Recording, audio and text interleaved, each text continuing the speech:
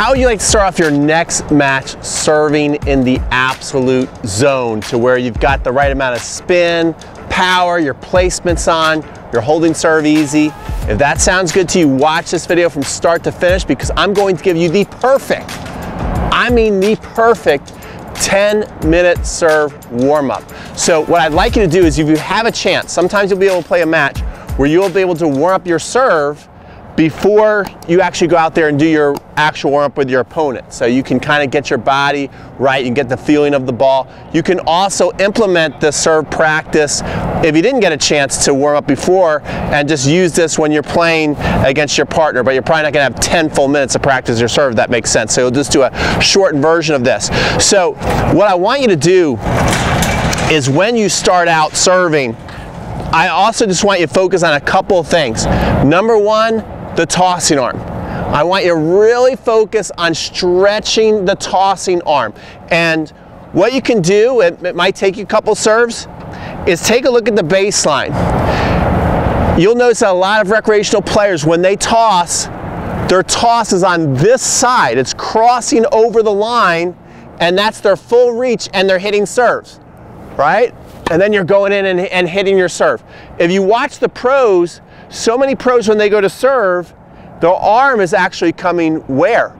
Actually, it passes the baseline. I'm letting go of the ball early, right around here, but then I continue up. So I want you to focus on that and pretend that your wrist and your hip, they're like connected on a string, like a marionette. So they, they pull each other into that. So that's one thing I want you to work on. The other thing I want you to work on is being super loose.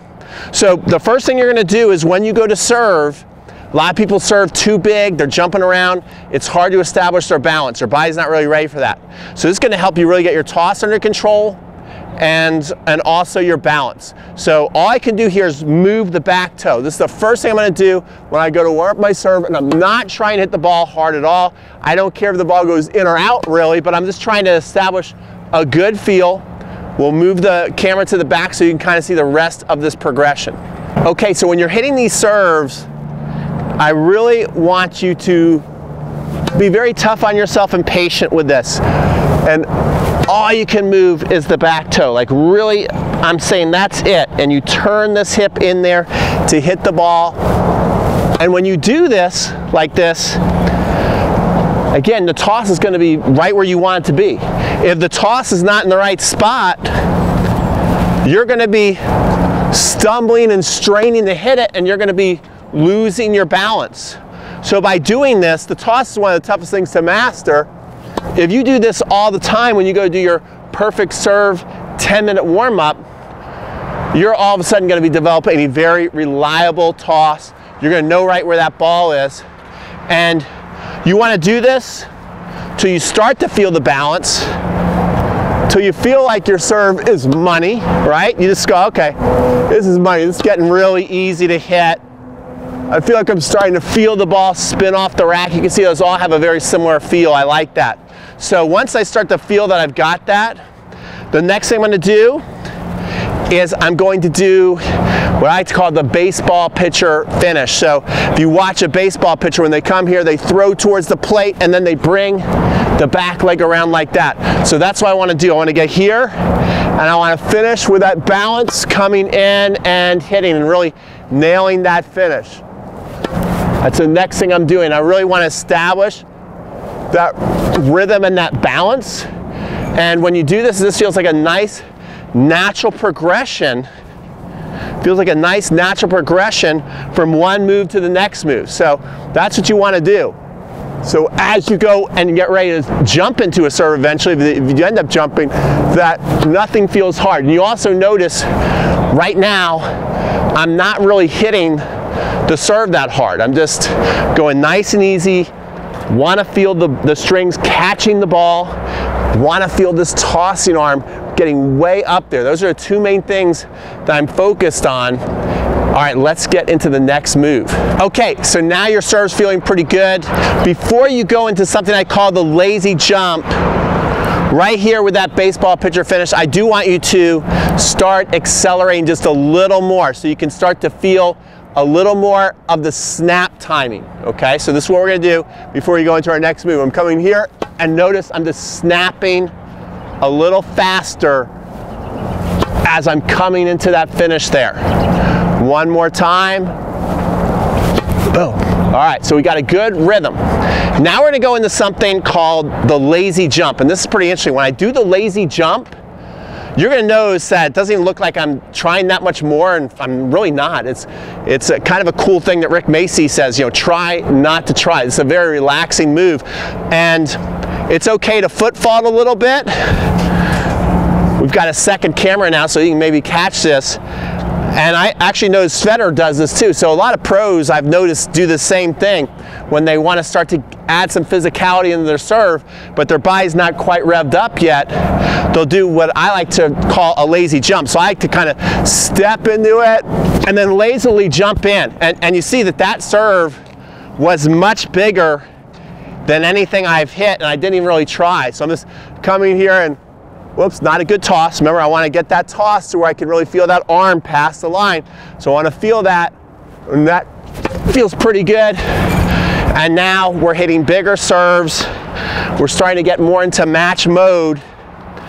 And you want to do this lazy jump until you feel like you're ready to go into a ritual. So I, am not quite ready yet, so I'm just going to do a couple more. Okay, it starts feeling pretty good today. Do one more.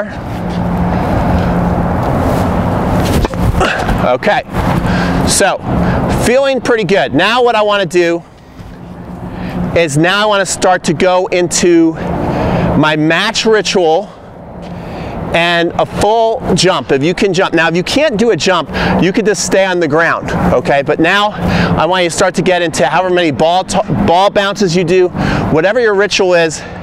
Now you want to go into this and you also want to kind of think about your favorite spin. So my favorite spin is a slice serve. So I'm going to get a little bit into match mode and work on my slice serve down the middle. So now you see I'm getting bounces. I like to do four bounces.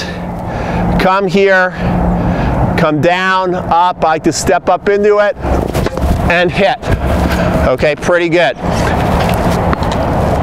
That was a little bit of slice and kind of flat. So this one I'm gonna try and hit with a little more slice, cut it a little more. And I really like the way that one felt as well. So I always like to start with my strength first, which is my slice serve. So for you, it might be a kick serve, might be a flat serve. But I like to warm up that strength first because when the match starts, I want to know that my most reliable serve is ready to go and it, and it feels good and there's a high percentage I'm going to be making that serve. Okay? Now, the next thing I'm going to do is I'm going to work on my flat serve out wide. This is where now I'm going to work more on power. So now you're going to see the ball go a lot harder I might miss a lot more though. So now I'm kind of like letting it out and going up to fifth gear, also taking more risk. This would be a serve that I'm gonna hit less in a match, but on big points, maybe I'm feeling it, I might go for an ace with this serve. So you might see some more misses in the net or long because it's a lot more physical, a lot more risky. So I want it, but I do want to practice this before I play. Okay pretty good. We made that, but the placement wasn't great. I like to have this one go off the court, in the corner and off the court if I can. Ah, say drop my head, like I said, don't be surprised if I miss more on this one.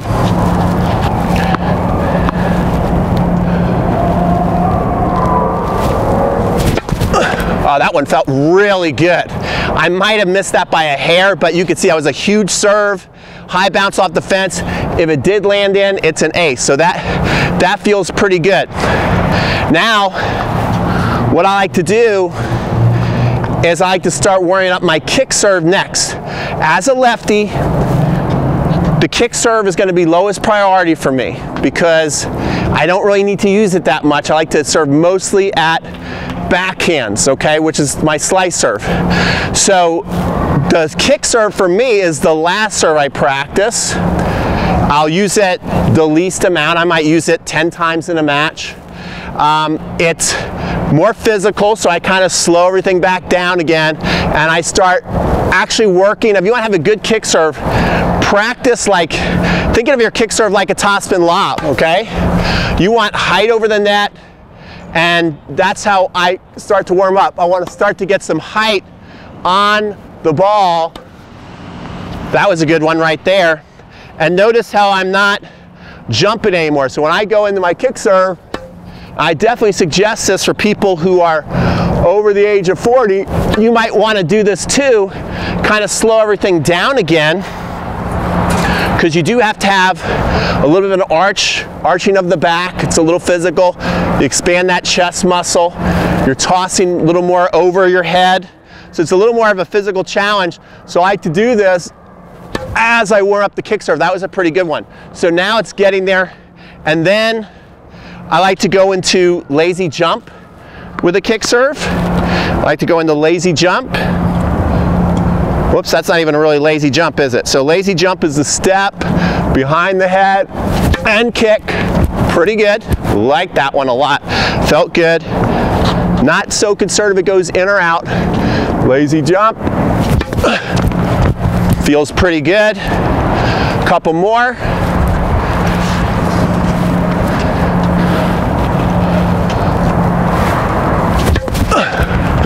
I'm liking the action off the ball. Again, I'm not so concerned if it's in or out.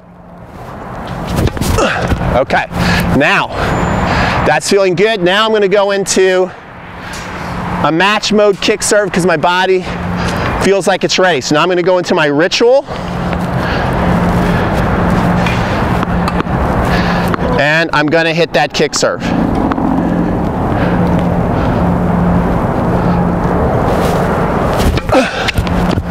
Not bad, not bad. So you see, that's how I like to warm up. Then what I'm gonna do is I'm gonna do the same exact exercise on the ad side if I have time. So I'm gonna go right back into just establishing my balance with a couple of lazy jumps because I already got my body warmed up, but I'm just gonna do a couple lazy jumps here on this side, feel it, and then start to go into match mode where I'm bouncing the ball. The last thing I want you to do, now you're warmed up, you feel your body going. What I want you to do, we'll just, we'll just play a game to one. We'll do some real pressure here. I'm gonna serve the ball down the middle slice. If I make it, then I win. I don't have to do anything. If I miss it, what I gotta do for you guys to end the video is I'll do 10 push-ups. So what I wanna do is get my serve warmed up enough and then practice some pressure. So it'd be really cool if you have the time is maybe play yourself to five or 10 points and go after the serve that you're like, this is my money serve. This is a serve that on a big point, it's the one I know I'm gonna make, okay? You don't always make the one that's your money serve, but you want to have a really good feeling that you're gonna make it most of the time. So know what that is and if you don't have that right now, start to establish it. Start to decide, like, hmm, I think I can make this serve. Okay, when I warm up my serve, I'm always gonna kind of end with this to see if I can make it. So now I'm gonna go down the, down the middle, slice serve. I make it, I win. I miss it, I lose. I'll do 10 push-ups if I miss it. This is a great way to practice pressure. Okay, not enough people understand how to practice pressure, especially by themselves. So here we go. Let's see how I do.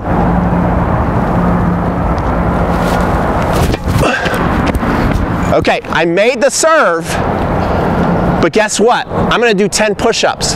Because for me, that was like a pitcher missing the target. It was supposed to be a down the middle slice. It went in the box, but it was like clearly not down the middle. So you know what? That's 10 push-ups for the coach to end the video. If you want to improve your serve, here we go. You want to get serving A to Z. You go up in the card section in the corner and you click on that and you will get a free serve course. We're not just talking one video, two videos. We're talking 33 free videos. And if you like this video, if you like seeing your coach online going down, doing push-ups for you, then smash up the like button, subscribe so you don't miss the next video. Go practice this 10 minute, perfect 10 minute warm up, although I think I went longer than 10 minutes because I just got so excited about serving. It's so fun. You can't serve enough. You can't, it's the most important shot in the game. All right, guys, we'll see you on the next video.